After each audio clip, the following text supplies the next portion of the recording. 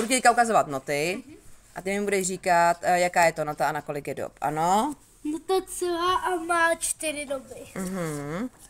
Nota osminová a má půl doby. Na půl doby.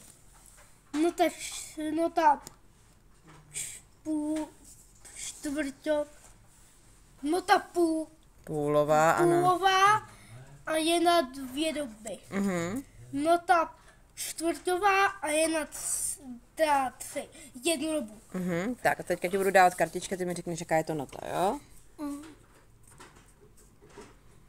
G. Ano. Tohle je nota D. Mhm. A poslední. Tohle je nota C.